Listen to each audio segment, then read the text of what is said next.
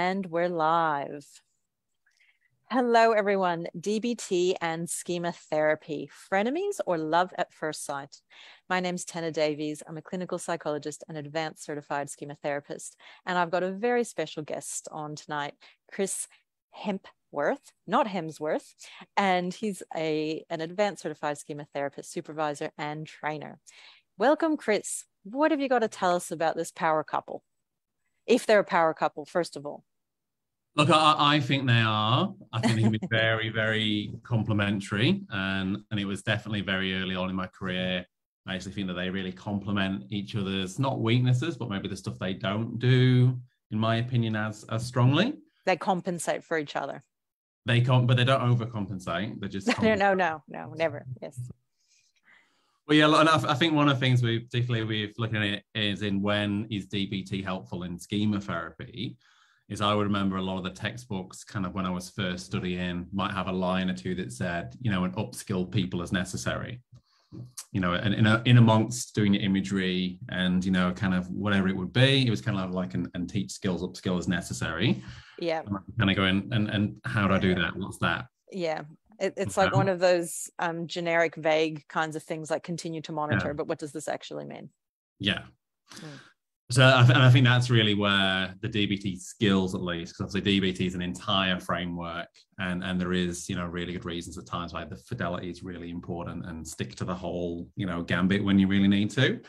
But I think it's the skills from DBT that actually can be really beneficial in schema therapy. Um, plus, one of the other things I tell people is actually the whole idea of dialectics, because basically, like, it's a fancy word for balance.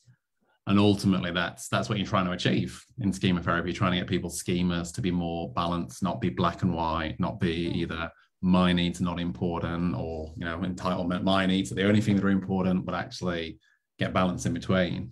Mm. so i also think the the word and so to speak from dbt is actually very helpful in that kind of like stylistic element yeah i love that that's very true yeah Oh, look, I've, I've heard kind of like Wendy Behary say a few times, although she also talks about this sometimes, though, you have to give somebody a really good but, as in when you do an empathic confrontation, you have to go, but you can't talk to me that way. But I think a lot of the time it can be that use the word and, like I really get why you're talking to me like this when you were younger, etc. And though when you do this, it pushes people away and it's not helpful for you. So I do think there's the stylistic stuff, but a lot of it's about the skills. I think DBT teaches skills incredibly well. And you know, you, even as healthy adults, if you think about it, we really use a lot of skills, whether it's just kind of like regulate our emotions, tolerate distress, or even just how to have kind of a conversation with someone and like kind of be assertive or be soft in it. But hopefully, you know, as a healthy adult, we've learned a lot of those skills quite naturally, or at least just like the good enough kind of skills. Mm-hmm. Um, but a lot of our clients won't necessarily have got that. And even if they they really overall do well enough, say with emotional regulation, um, there's absolutely times where they'll benefit from being taught an extra thing that they haven't picked up and stuff like that. Yeah, it's like giving them the, the, the tools and the resources to operationalize some of these things. Yeah, exactly. Um, and I think part of that as well is you know that we also want them to be as well as the therapeutic relationship we also want them to be look after the, themselves to kind of knowing how they can do things outside a session too when we're not there i think is really helpful with that. Um and, and what are some of your favorite you know ways that uh, dbt and schema therapy you know where they really come together and they're the absolute best of friends so I think it's probably what you would call like the crisis survival skills. It's probably the skills that I would teach people the most when I'm doing schema therapy with them. Because they're, they're your real kind of like calm the farm or, you know, kind of like learn how to tread water and bring things down when they're too much kind of skills. Um, and in particular, there's one called stop, which actually, like if you said to me, you've got an hour with somebody and you have to teach them DBT skills, what would you teach them? Stop would be one of them and the other one would be something called opposite action. Um, so we with stop because that's really about impulsivity and um, stuff like anger. So that's really handy for like your angry child mode, or someone's about to kind of do something self-destructive because it's all about kind of like putting the brakes on and not reacting. And in a broader sense as well, I actually think that the stop skill as a broader concept is really important because actually, if you're going to go in from reacting to changing any habitual behavior, so that's kind of like surrendering to our schemas, doing what they tell us to do, surrendering to those kind of like critical modes, you've actually first got to pause and realize you're about to do that and then take a step back and instead realize you maybe got a choice and there could be a healthier thing to do. Yeah, that's right. It's like a necessary, it's like a necessary but not sufficient condition, but they, they still need to pause. Yeah, exactly. So it's, like it's in order to like, benefit from from schema. Yes. Yeah. So look, the start one would be one that I teach people quite frequently.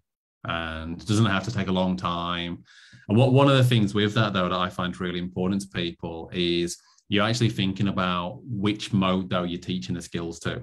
Mm, that's very uh, interesting what you what you can do, and I, I often tell people that you can use the skills for good or for evil, or you know, I kind of talk about Star Wars, and you've got the light side of the Force and the dark side of the Force. Because mm-hmm. this is one of the other things, even though I think they they marry really well together.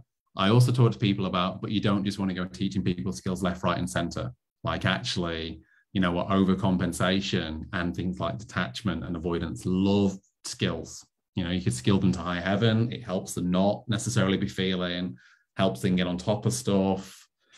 So it's kind of about which which mode are you teaching the skills to and why? Because you always want to be teaching it's that healthy adult mode and you kind of like bolstering the, the healthy adult's armor with the skills. Yes rather than enabling some of those coping modes. You know that's interesting because i have very much had the experience that's um, teaching skills to clients can sometimes ironically make things worse. Yeah. Well, the, couple I've had about that, a couple that I guess come up more frequently, or people tell me about and say, well, what happens when this happens? One is where you get people who've gone from, and it, and it ends up, I guess, like being an overcompensation, what people say with subjugation or maybe self sacrifice, who are quite passive. And then you teach them some assertiveness skills and they're actually going around, as I would then say now, like sledgehammering people left, right, and centre. yeah, and you've got you've got to tell them to rein back a little bit now. It's kind of like you're going from one to the other. yeah, yeah. The pendulum has swung the other way. Yeah. Yeah. Yeah, that's always um, an uh-oh moment in therapy, isn't it? Where you're like, yeah. oh, what have I done? Yeah, I've created a monster. um, but I, I think with that, even with that, it's kind of like just normalizing it. Look, we all kind of make sometimes when we learn something new, we go a bit too far. This is maybe how to use it next time, or this is what more the healthy adult version of it is. Because remember, other people still have rights and needs to, not just, you know, it's about us now. Um, so I think that's actually one of the really big ones. It's just kind of going like it needs to be for that healthy adult mode. And what I always kind of say to people is explain why you're teaching that skill as well. So I might say, look, I'm going to teach you the stop skill so the next time that kind of fireball, angry party, the angry child, or whatever it is, is about to come out and roast somebody, your healthy adult can learn to put the brakes on and actually take a step back and deal with it in a healthier manner instead. So just being really clear in a way why you're teaching it within the schema therapy framework is there's a lot more useful in that sense. Yeah, that you're basically just um, skilling up the healthy adult. Yeah, yeah, exactly. Rather than learn teaching the detached protector how to actually avoid feelings more by giving distraction techniques and stuff like that. Yeah. Um, and that's that's yeah. Sorry, go on. No, no, no. I was just going to say how. I mean, that makes complete sense. But how do how does therapists make sure that they're not teaching the detached protector things? You know, because sometimes the detached protector can masquerade quite quite well as a make itself look like a healthy adult. I think one of the rules of form is, because I, I, often say to people, it'd be lovely if people walked into a session would say a couple of letters on their head. So when you get motoring like HA or something like that, they're in healthy adult today.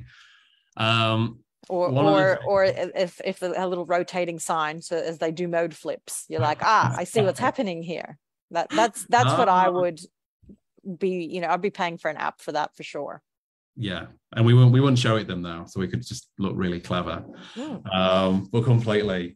Well, I think one of them is if someone is using a skill way too much, that's a little bit of a red flag of mm. look, these skills have certain intentions and certain places where they're useful. So, you know, but I'm noticing you're using that like all the time. And because with that, I remember one client who I taught tip to tip to, which basically is a lot of physical skills to help calm your body down. Um, like diaphragmatic breathing is one of the P's, like the pace breathing and stuff like that. All stuff that physiologically helps you calm down. And I realized after a few sessions that pretty much any time they had a feeling, they were just going for a run. They were doing the intense exercise and it was wasn't that actually they were that overwhelmed that they needed to take the edge off to then come back and healthy adult and deal with the feeling it's kind of like they were literally running away from the feeling yeah that's interesting. So i guess would one of the things that you need to do is when you teach people this be in, in your own mind assessing what mode um, performed the the tip or the stop or the strategies. Yeah. and if I kind of like, if I spot particularly for someone that there's a certain mode that might try and hijack it, like say the detached protector or the avoidant protector, instead of the healthy adult kind of like using, say, distraction for distancing, I'll tell them about it and I'll actually explain what the difference is so that when they then come back, you can kind of cock your head a little bit and go, so do you think you use that skill more for like, you know, healthy adult distancing or was it more like kind of avoidance going up here? I actually find that when you teach people that, or you'd let them kind of like start to know what the difference is, a lot of people can actually own it and go, well, you know what, maybe there was some avoidance in there, but I honestly think a lot of it was healthy adult or whatever it may be. So, yeah, it's a spectrum. And I like how you set that up, um, like preset that up such mm. that you're you're able to have that conversation with the client afterwards. Yeah, yeah. So I, I think that is one of the big ones. But apart from that, it is just about frequency. People are using it all the time. It's probably kind of going, okay, there's bound to be times you're misusing or overusing this particular skill. Um, but the, I think the other one is just like the intention. I really think about and what what was your intention, you know, when doing that skill? What was that part of you? What was that intention when you put that out there? Um, and then I think the intention can tell a lot between the modes as well. Yeah, that's that's a really good point all around. Yeah. Lovely. Yeah. Mm, okay. Anything else that um, people that you think would be really important for people to know when implementing DBT and schema therapy? Any sort of pitfalls? I think I think that actually probably would hopefully cover a lot of the pitfalls. Is that actually kind of like knowing why you're teaching someone the skill? I actually think that that's the biggest one. Mm. And and in that sense as well, if you decide, because the way I often teach it people is there's two ways I'm going to do it. I'm either going to go essentially, let's for the next few sec- sessions spend a block of sessions on teaching your skills. So it's quite clear we're working on assertiveness skills for the next few sessions. I'm going to teach you this stuff. Um, or what I more frequently do is use the ad hoc. So actually, kind of, you know, when you've, you've come in and you've attuned, you know, you find out what's been going on in the week, almost like that middle third, when you found out what's going on, and then you're given the options. So you're going, look, today we could look at some imagery with scripting. Is actually knowing that your your work for the session can be the skills.